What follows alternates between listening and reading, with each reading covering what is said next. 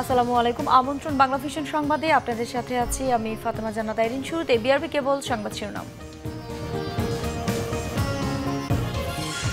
Copa আমেরিকার শিরোপা জিতল আর্জেন্টিনা। ব্রাজিলকে হারালো এক শূন্য গোলে ম্যাচ সেরা ডি মারিয়া, টুর্নামেন্ট সেরা মেসি।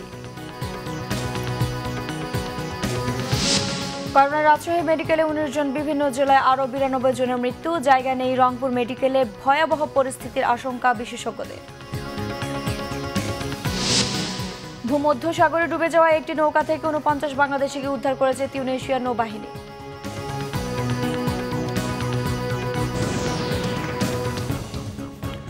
দেখছিলেন বিআরবি কেবল, সংবাদ শিরোনাম।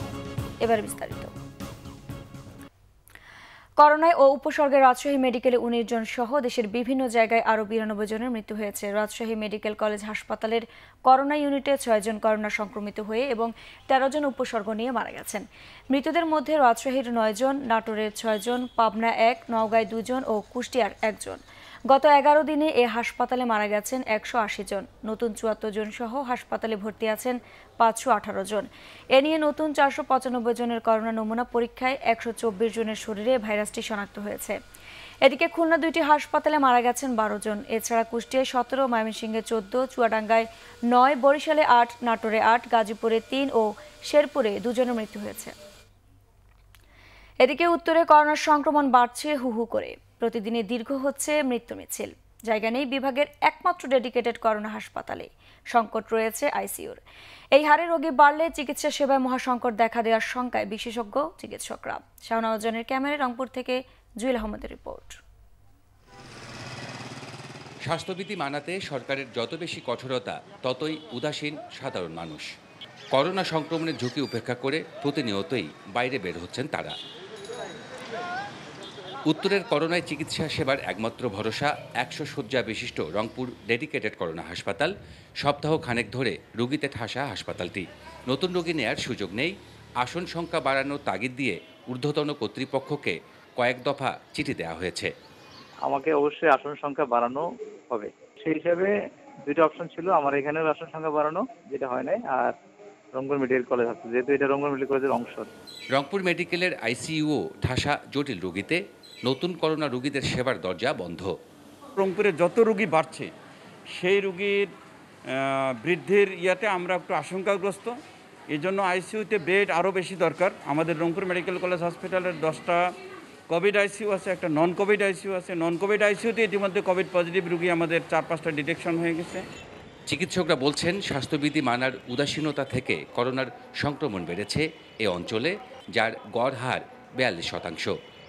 জেলা হাসপাতালগুলো ডেডিকেটেড হাসপাতাল হিসাবে ঘোষিত ছিল এবং প্রথমে ইনিশিয়ালি এক এক হাসপাতালের সক্ষমতা এক এক ধরনের বলা ছিল। কিন্তু আমরা গ্র্যাজুয়ালি কিন্তু সব ইনক্রিজ করতেছি। আক্রান্তদের সেবা দিতে দুই হাসপাতালে পঁচাশিটি আসন বাড়ানো হয়েছে। রোগী যাতে বেশি লোককে সংক্রমিত না করে সেজন্য আমরা এমনও করতে পারি যে সে সরাসরি রোগী ওয়ার্ডে চলে যাবে। ওয়ার্ডে গিয়ে ওখানে একটা ভর্তি রেজিস্টার থাকবে ওখান থেকেই ভর্তি হয়ে যাবে।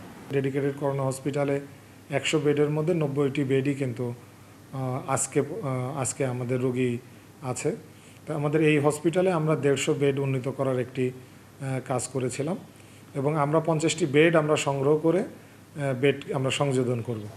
বিভাগের তিনটি সরকারি হাসপাতাল ও দুটি বেসরকারি মেডিকেল কলেজ হাসপাতালে আইসিইউ বেড আছে মাত্র আটত্রিশটি। জুয়েল আহমেদ, বাংলা ভিশন, রংপুর। যশোরের শিশু উন্নয়ন কেন্দ্রে ভাঙচুর বিক্ষোভের ঘটনা ঘটেছে। এতে আহত হয়েছে দুই শিশু। শনিবার রাত দশটা থেকে একটা পর্যন্ত কেন্দ্রের ভিতরে চলে বিক্ষোভ ও ভাঙচুর। পরে পুলিশ ঘটনাস্থলে গিয়ে পরিস্থিতি নিয়ন্ত্রণে আনে। পুলিশ ও কেন্দ্র সূত্রে জানা গেছে, শিশু উন্নয়ন কেন্দ্রে, খাওয়া, চিকিৎসা সহ বিভিন্ন ধরনের সংকট রয়েছে। এসব সংকট নিয়ে শিশুরা বিভিন্ন সময় অভিযোগ করলেও অবস্থার তেমন কোনো পরিবর্তন হয়নি। যশোরের অতিরিক্ত জেলা ম্যাজিস্ট্রেট কাজী মোহাম্মদ সাইমুজ্জামান বলেন, কেন্দ্রটিতে দুশো আটচল্লিশ জন বন্দী রয়েছে। বেশ কিছু দাবিতে তাদের অসন্তোষ রয়েছে। শনিবার রাতে ভবনের মূল ফটকে তালা দিয়ে ভেতরে আসবাবপত্র ভাঙচুর করে শিশুরা। দু হাজার বিশ সালে তেরো আগস্ট যশোর শিশু উন্নয়ন কেন্দ্রে তিন বন্দী কিশোরের হত্যা ও পনেরো জনের আহত হওয়ার ঘটনায় তোলপাড় শুরু হয়েছিল। করোনা পরিস্থিতিতে একদিকে গরুর হাট নিয়ে অনিশ্চয়তায় আশুলিয়ার ইজারাদাররা। এর বিপরীতে অনলাইনে গরু বেচাকেনার হিড়িক স্থানীয় খামারগুলোতে। হোম ডেলিভারির বিশেষ সুবিধা অনলাইনে টানছে মানুষকে। আশুলিয়ার প্রতিনিধি শেফালি মৃত্যুর রিপোর্ট।